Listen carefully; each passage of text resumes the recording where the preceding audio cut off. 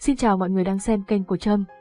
Trong tập trước, những kẻ lạ mặt đến từ Tây Huyền vực dựa vào phong thiên đại trận phong tỏa hoàn toàn khu vực diễn ra bách triều đại chiến. Các thiên tài của Đông Huyền vực lần lượt xông lên muốn phá vỡ trận pháp, nhưng đều vô ích. Lúc này, mọi hy vọng đều đổ dồn về Lâm Động. Mọi người cùng theo dõi những diễn biến của tập sau nha, để ta, các người chặn trận pháp lại đi. Nam tử đeo trọng kiếm nghiến răng bước ra. Vẫy tay một cái, trọng kiếm sau lưng bay lên tỏa ra một thứ kình lực mạnh mẽ, thần nam, người, thấy thế bọn Lam Anh đều giật mình, nhưng chưa kịp dứt lời thì nam từ đó đã xông đến, thân kiếm hợp nhất, biến thành một đạo kiếm quang nhanh như chớp đâm thẳng về phía Tào Vũ, gian ngoan mất hồn. Tào Vũ lạnh lùng nhìn thân ảnh biến thành kiếm quang đang lao tới, hắn hét lên, bàn tay to lớn giơ ra, quỳnh, không gian phía trước một lần nữa tràn ngập hắc quang rồi biến thành một bàn tay khổng lồ, sau đó hung hăng đập xuống đạo kiếm kình, bùm, kiếm kình gần như lập tức nổ tung, thân ảnh bên trong nó cũng phụt máu, bắn ngược ra sau, thiên tài thần nam đến từ vương triều hắc kiếm cũng bị Tào Vũ một chiều đánh bại.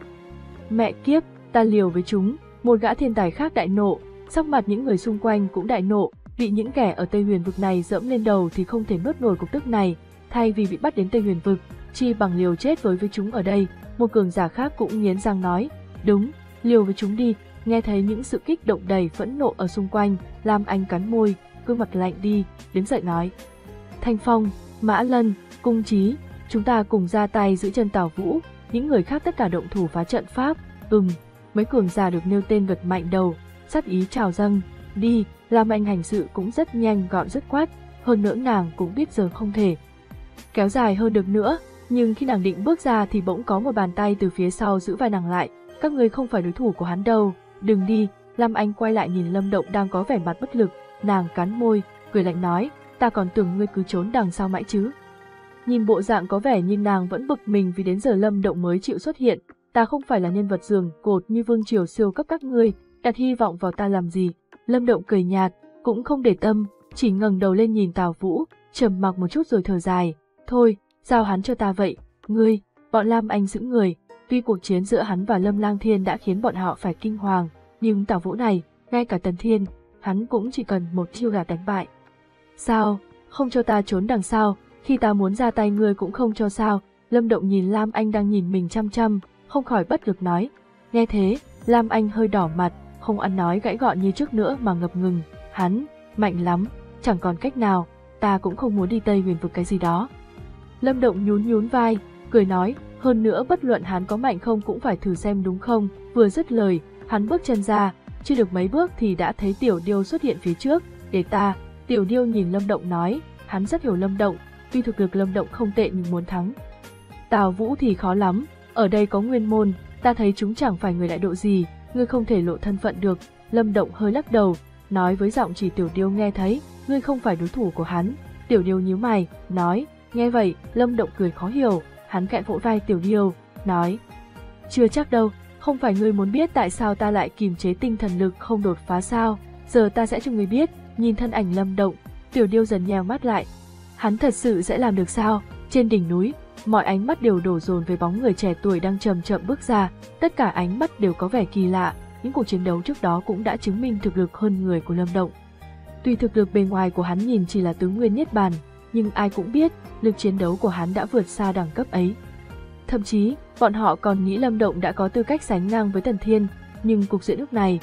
ngay cả Tần Thiên cũng thảm bại, lẽ nào Lâm Động lại có khả năng cứu vãn tình hình sao? Lâm Động, Tào Vũ cúi đầu nhìn Lâm Động, khóe miệng cong lên, khẽ cười nói, ta đã từng quan sát những cuộc chiến của ngươi, đúng là không tệ, nhưng vẫn chưa giao chiến được với ta đâu. Nếu có thì có lẽ không phải chuyện gì tốt đâu, Lâm Động cười nói, không thử thì sao biết được, có phải không, chỉ sợ thử thôi cũng không giữ được mạng, Tào Vũ cười, Tào đại ca, việc gì phải phí lời với hắn. Chỉ là một tứ nguyên niết bàn cũng dám ra oai, để đệ, nam tử vẻ mặt nữ tính bên cạnh Tào Vũ nhìn Lâm Động, cười quái dị, nói, để ta. Tào Vũ xua tay, ánh mắt hắn dừng lại trên người Lâm Động, nói, hắn không đơn giản như bề ngoài đâu, coi thường hắn sẽ thiệt thòi lớn đấy. Ồ, nam tử kia nhướng mày, hiển nhiên không tin lời nói đó, có lẽ hắn không được coi là nhân vật kiệt xuất trong Tây Huyền Vực, nhưng dù sao bọn Lâm Động này còn chưa được vào tông phái siêu cấp còn hắn thì đã tu luyện ở tông phái siêu cấp 2 năm rồi, các người bố trận chú ý những tên khác nữa, Tào Vũ nói, rồi bước chân ra, cong bàn tay về phía Lâm Động, cười nói, động thủ đi, để ta xem ngươi có thể chống đỡ được mấy hiệp. Chuyện ngăn cản trận pháp giao cho mọi người, Lâm Động quay lại nói với bọn Lam Anh, ngươi cẩn thận đấy. Lam Anh không khỏi lo lắng nói, nếu Lâm Động cũng bị Tào Vũ dọn dẹp thì sĩ khí của bọn họ sẽ bị đả kích rất lớn. Lâm Động khẽ gật đầu. Rồi thở ra một hơi sâu, hắn cũng giống Tào Vũ, cong bàn tay về phía Tào Vũ, ra tay đi, để ta được thấy sự lợi hại của cường giả Tây Huyền Vực. Rõ ràng Tào Vũ bị hành động đó của Lâm Động chọc giận, hắn nhèo mắt, hàn quang lóe lên, đúng là đồ không biết trời cao đất dày. Tào Vũ thầm cười lạnh, cũng không nói gì thêm, giơ bàn tay ra điểm lên không khí. ầm, nhìn có vẻ tùy ý điểm một cái, nhưng nguyên lực thiên địa bỗng sôi sục, không gian hư vô lại biến méo mó. Hắc quang trào dâng biến thành một chùm sáng đen mang khí tức mạnh mẽ, xé tan không khí bắn thẳng về phía Lâm Động. Thấy Tào Vũ vừa ra tay đã hung hãn như vậy, bọn Lam Anh đều giật mình, dường như Tào Vũ không định cho Lâm Động chống đỡ quá một hiệp. Công kích này căn bản không thể tránh né, đúng như bọn Lam Anh nghĩ, đối mặt với chùm hắc quang đó, đúng là Lâm Động không hề có ý tránh né. Xoẹt, chùm hắc quang mang lực sát thương kinh người gần như chỉ. Trước mắt đã đến phía trước Lâm Động, nhìn cảnh đó mà tim bọn Lam Anh đều như trùng xuống. Dầm, một âm thanh trầm đục vang lên, sắc mặt bọn Lam Anh cũng tối sầm lại. Hết rồi sao, đâm đầu vào chỗ chết, bọn thường uy nhìn cảnh đó, không kìm được bật cười lớn. Hắn chưa chết, Tào Vũ cau mày, giọng nói thản nhiên đã pha chút kinh ngạc, cái gì, nghe Tào Vũ nói thế, bọn thường uy sững người kinh ngạc, chúng biết với thực lực của Tào Vũ mà dùng phong thiên đại trận, sẽ có uy lực khủng bố thế nào, sao tên lâm động đó có thể chống cự được, Tào Vũ nhìn chăm chăm về nơi hắc quang đang dần tan đi, một thân ảnh đồ sộ dần xuất hiện, hừng, không đúng. Thấy thân ảnh to lớn đó, cả bọn Thường Uy và Lam Anh đều khựng người lại, cuối cùng hắc quang cũng tan hết, thân ảnh đồ sộ kia cũng xuất hiện trước mắt mọi người. Thân ảnh đó cả người đã đỏ rực, nhìn như được đúc từ đồng đỏ, gương mặt cũng không phải của Lâm Động mà là một. Gương mặt lạ lẫm lấp lánh ánh đỏ, đây là huyết linh khôi, đồng tử Tào Vũ co rút lại nhìn thân ảnh đỏ rực tỏa ra khí hung sát phía trước, hắn không thể ngờ Lâm Động có linh khôi, hơn nữa còn là huyết linh khôi có sức sát thường lợi hại nhất nữa. Quan trọng nhất là đẳng cấp của huyết linh khôi này không hề thấp, chưa biết chừng còn là ngũ cấp, thậm chí cao hơn, ha ha, một đạo thân ảnh chậm chậm bước ra từ phía sau lưng huyết linh khôi, ngẩng lên nhìn Tào Vũ, khẽ cười nói. Tầm nhìn cũng không tệ. Linh khôi này đương nhiên là huyết linh khôi của Lâm Động, từ sau khi mua được bộ xương của thiên hoang thần ngư ở thành vạn tượng, Tiểu Điêu đã dùng bộ xương đó để cường hóa huyết linh khôi, cộng thêm với lượng lớn niết bản đan mà Lâm Động có, huyết linh khôi hiện giờ đã mạnh hơn trước không biết bao nhiêu lần. Theo Lâm Động phán đoán, huyết linh khôi hiện giờ có sức phòng ngự khủng bố hơn nhiều. Công kích đủ để đánh trọng thương một cường giả ngũ nguyên niết bàn của Tào Vũ chỉ để lại một vệt mờ mờ trên người huyết linh khôi mà thôi. Lâm Động, bọn Lam Anh ở phía sau thấy Lâm Động bình an vô sự, ánh mắt đầy mừng rỡ. Hiển nhiên bọn họ không thể ngờ Lâm Động có thể dùng linh khôi để đỡ công kích của Tào Vũ, huyết linh khôi cũng được đấy, nhưng không biết có thể đỡ được mấy lần công kích của ta. Tào Vũ cười nhạt nói, thử là biết ngay thôi. Lâm Động cười, ánh mắt sắc lạnh, chân bước ra lao tới, ở giữa không trung hắn nắm tay lại, thiên ngạc cốt thương xuất hiện, cây thương dùng lên biến ra vô số thương ảnh lao thẳng về phía Tào Vũ. Khi thương ảnh ngưng tụ, một chút thanh quang mờ mờ cũng lặng lẽ xuất hiện. Xoẹt, thấy Lâm Động chủ động tấn công, ánh mắt Tào Vũ lạnh băng, hắn tung trường, hắc quang ngưng tụ biến thành một bàn tay khổng lồ đập xuống Lâm Động, dầm, thế nhưng khi bàn tay khổng lồ sắp đập trúng Lâm Động thì một đạo hồng quang bắn tới, một quyền tung ra đỡ bàn tay hắc quang, xoẹt xoẹt, Lâm Động cũng không để tâm đến năng lượng kinh người bùng phát nơi đỉnh núi, hắn động thân, xuất hiện ngay trước mặt Tào Vũ, thương ảnh nhằm thẳng những yếu huyệt của Tào Vũ, hừ.